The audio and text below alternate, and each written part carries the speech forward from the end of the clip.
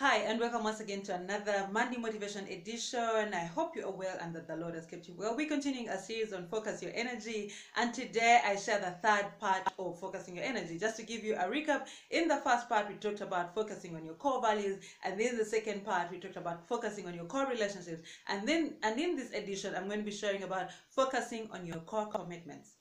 So we're at the start of the year where many people are very excited about uh, the year and the possibilities and all the things that they can do. And there's a tendency to just take on so much. At the end of the day, we bite more than we can chew. And in so doing, we become overwhelmed. We get frustrated. We get stressed out. We get worked out because there's so much that we want to do in such a short time.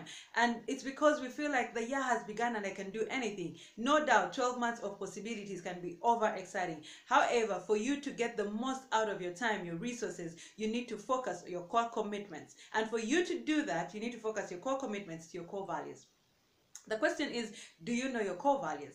Now, oftentimes when you ask people about their core values, they kind of look up, look that way, and then they kind of feel like, yeah, compassion is a nice thing, integrity is a nice thing. So they kind of just pick words around and say, yeah, these are my core values. But for you to truly understand your core values, you need to look at the things that irritate you, the things that pain you, the things that frustrate you, the things that agitate you. Oftentimes, when we react to things, we are not reacting to what has been done. We are reacting because a value has been violated. What are those things that you can't stand? What are those things that simply trigger you? The things that seem to rub you the wrong way? When you begin to analyze the values beneath those actions, why is it such a big deal when people come late? It's not because people come late that you react the way you react. It's because you feel your value for time management has been violated. So when you begin to look at the things that frustrate you, you begin to understand the values and the things that you hold so true to yourself. Your values is a standard that holds uh, the foundation for how you live your life, for how you make your decisions, and for how you make your commitments. So use your values as a benchmark, as a standard to begin to evaluate your commitments. Every time you commit to something or before you commit to something, ask yourself what personal value does it feed into.